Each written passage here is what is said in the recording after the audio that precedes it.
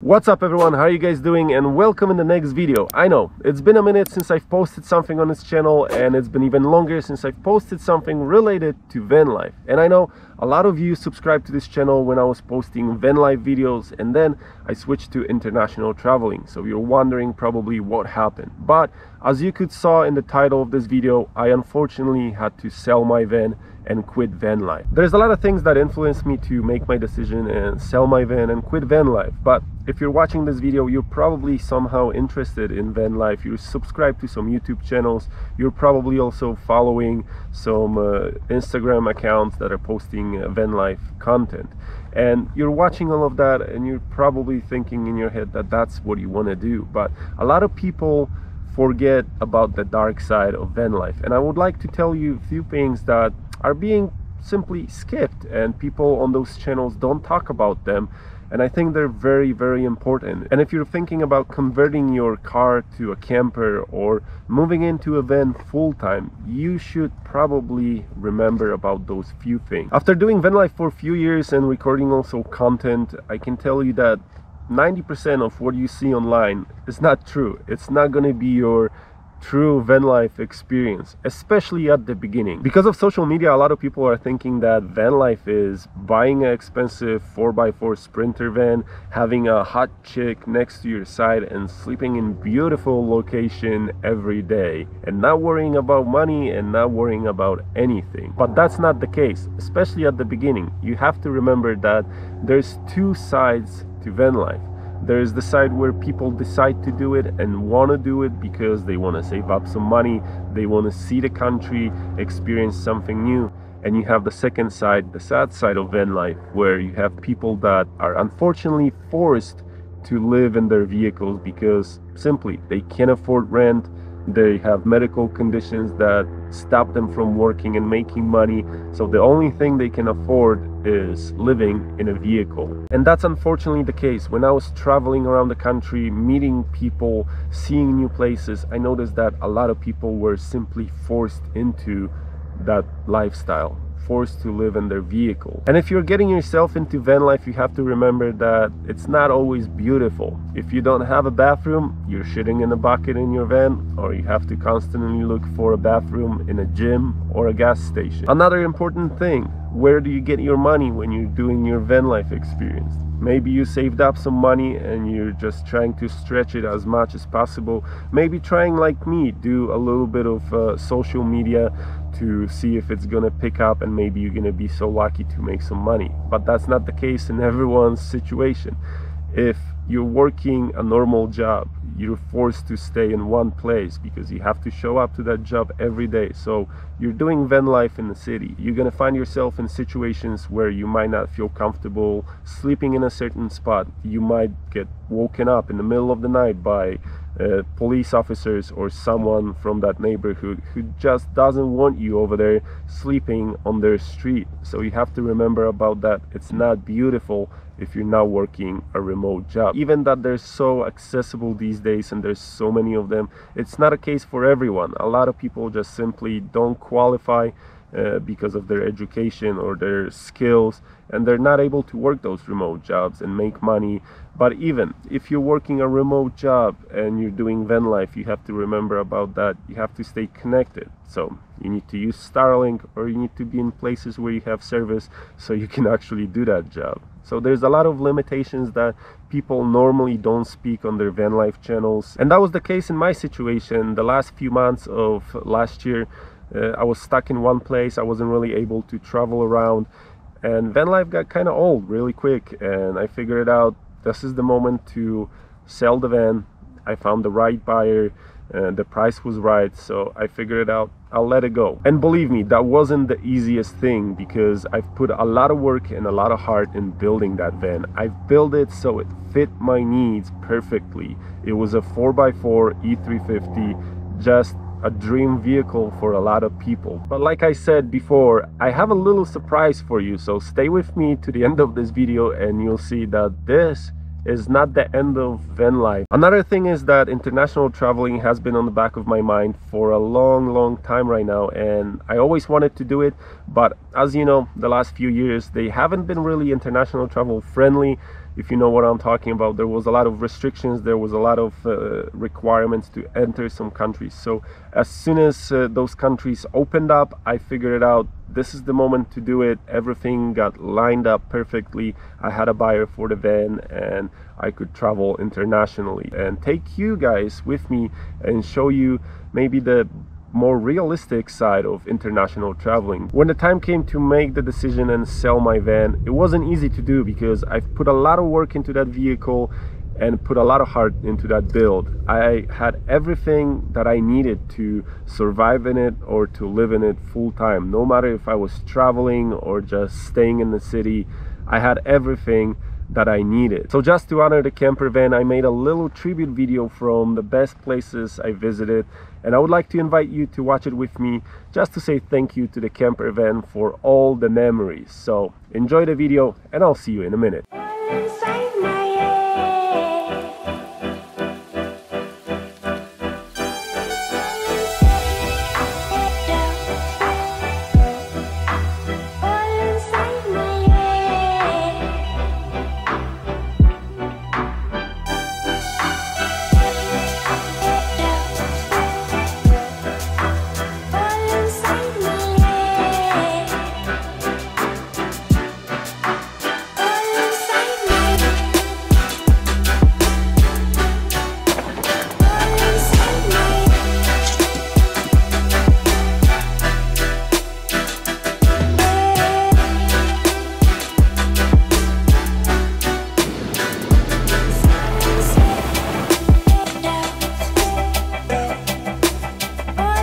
Widok na plażę, na ocean, przepięknie.